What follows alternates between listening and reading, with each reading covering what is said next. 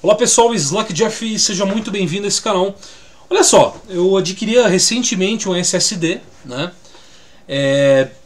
E tem um, um, teste aqui no canal que eu fiz fazendo um boot no Slack em 13 segundos, cara, com SSD, tá?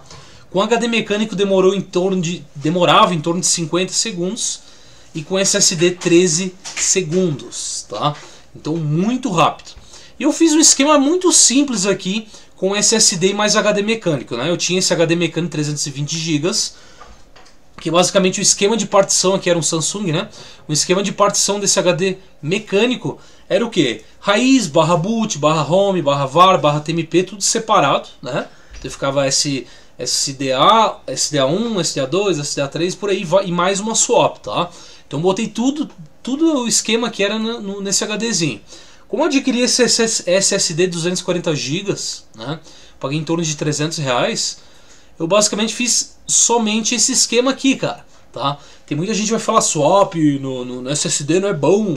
Ah, você botou qual partição esquema? Eu não botei nenhum, eu fiz só um esquema simples, né, como um usuário é, novato faria. Então botei tudo, raiz, tudo, né, o sistema barra home ficou tudo no SSD. E por quê? Porque eu queria, eu quero velocidade, tá?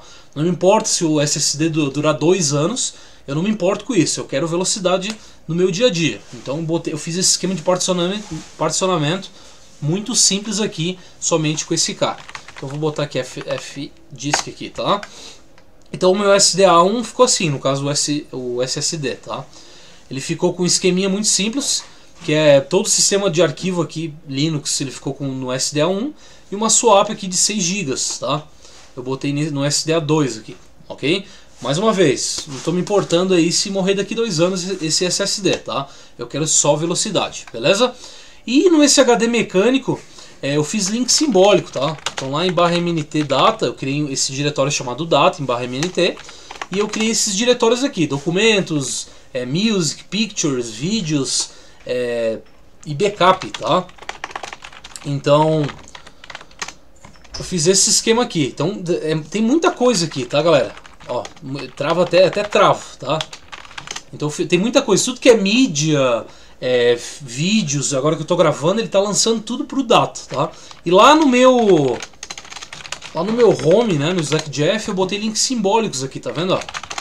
Tá? Então ele tá no, no SSD, o meu home também, né? Como todo o esquema, de, do, esquema do Linux, aí, o sistema, tá? Mas eu botei documentos, music, pictures e vídeos como link simbólico lá para barra MNT Data, beleza? Então basicamente eu fiz isso. Eu preferi um esquema de particionamento do, de, de gente novata. E para quê? Porque eu queria simplicidade. Eu quero testar esse SSD, tá? E não me importando aí muito se vai morrer logo, se daqui a dois anos o SSD morra, não tem problema nenhum. Tá? O importante é ter velocidade e testar para ver o que, que ele é capaz de fazer. Beleza? Primeira vez que eu tenho um SSD na vida, né? Mas eu notei uma grande diferença, principalmente para abrir, por exemplo, é, abrir softwares, tá? Até o renderizar aqui bastante rápido. É, a, princípio, apesar que está indo lá esses renders aí que eu faço, ele está indo lá pro, pro meu HD mecânico, né? Mas por exemplo, para abrir softwares é muito rápido, tá? Então tá, tá bem legal. Então esse foi o esquema de particionamento, muito simples, né? preferi com links simbólicos e vamos ver o que, que vai dar, tá? A gente vai testar, se não der muito certo esse esquema aí a gente troca e não tem problema nenhum, beleza? Então mais uma coisa, aqui no meu home, as coisas mais que eu uso assim e são importantes são os documentos, música, fotos, né? E vídeos, beleza? De resto eu não me importo muito que eu já tenho backup na nuvem, né? Como meu site, é, entre outras coisas aqui. Fechou? Então esse foi o vídeo de hoje, cursoslackjeff.com.br. Se inscreva no canal se você não é inscrito e dá um like nesse vídeo. Abração e fui!